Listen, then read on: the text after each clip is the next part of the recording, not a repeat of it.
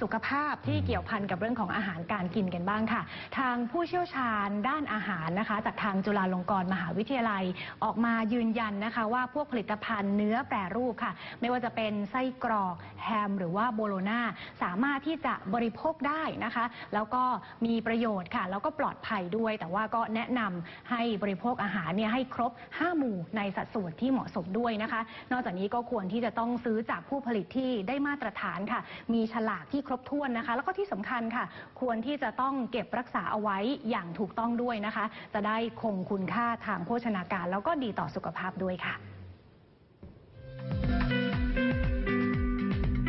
รองศาสตราจารย์ ดร อินทาวุฒิสัพพวรสถิต รองคณะบดีคณะวิทยาศาสตร์ อาจารย์ประจำภาควิชาเทคโนโลยีทางอาหาร คณะวิทยาศาสตร์ จุฬาลงกรณ์มหาวิทยาลัยกล่าวว่า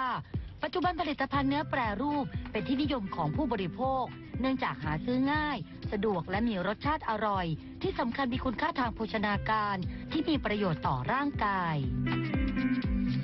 เนื้อสัตว์แปรรูปเนี่ยก็แน่นอนครับวัตถุดิบเริ่มต้นเลยก็คือเนื้อสัตว์ผ่านกระบวนการต่างๆทำให้อาหารนั้นเนี่ยสามารถรับประทานได้ทันทีนะครับแล้วก็เป็นที่นิยมเพราะว่ามีความหลากหลาย ก็แน่นอนคือมีองค์ประกอบของโปรตีนเยอะคุณค่าทางอาหารของเนื้อสัตว์แปรรูปเนี่ยยังคงมีอยู่ ก็เหมือนกับการที่เราบริโภคเนื้อสัตว์ประเภทอื่นๆ ไม่ว่าจะเป็นการปรุงแบบไหนโปรตีนไม่ได้หายไป แต่แค่ว่า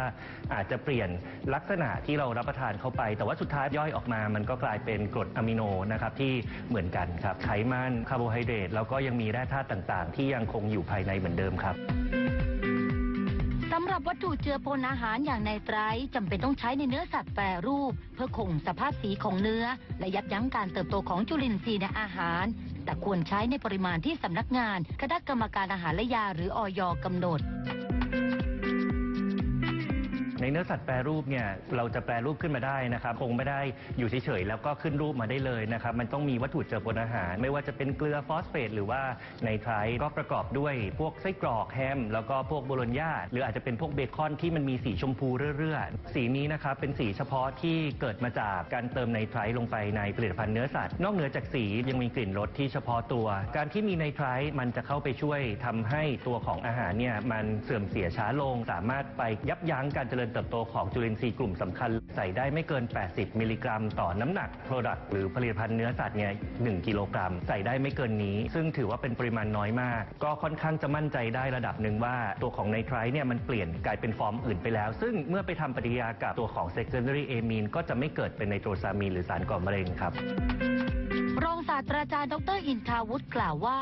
ปัจจุบันผู้ผลิตคำนึงถึงสุขภาพผู้บริโภค โดยลดปริมาณโซเดียม จากเกลือแกง หรือโซเดียมคลอไรด์ส่วนกระบวนการผลิตไส้กรอกจะเหมือนเหมือนกัน แต่ราคาแตกต่างกัน จากองค์ประกอบที่ใส่เข้าไป ดังนั้นผู้บริโภคควรเลือกซื้อจากแหล่งผลิตที่ได้มาตรฐาน สามารถตรวจสอบย้อนกลับได้ และสังเกตฉลากต่างๆ บนบรรจุภัณฑ์เพื่อความปลอดภัย เลือกจากหนึ่งคือผู้ผลิตที่เรา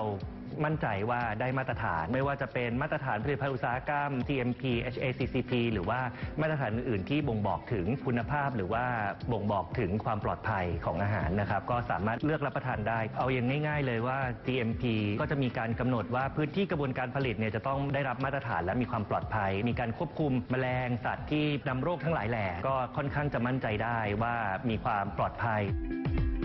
สำหรับการเก็บรักษาไส้กรอกหรือเนื้อสัตว์แปรรูปอื่น ๆ หากไม่รับประทานทันที ควรเก็บในอุณหภูมิแช่เย็น เพื่อป้องกันการปนเปื้อน พร้อมแนะควรรับประทานอาหารให้ครบห้าหมู่ เพื่อให้ได้สารอาหารครบถ้วน และเกิดความสมดุล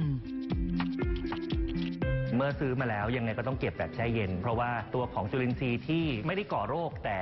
ยังสามารถทำให้เกิดการเสื่อมเสียที่ตัวของผลิตภัณฑ์เนี่ยมันยังมีอยู่ ก็ต้องเก็บในตู้เย็นที่อุณหภูมิต่ำไว้ก่อน เมื่ออุ่นแล้วหรือว่าเมื่อเปิดแล้วควรจะต้องรับประทานทันทีไหมอันนี้ก็แนะนำว่าควรจะรับประทานขึ้นอยู่กับว่าสภาวะแวดล้อมนะตรงที่เราเอาเก็บเอาไว้เนี่ยมันมีอะไร ก็อาจต้องระแวดระวังตรงนี้ด้วย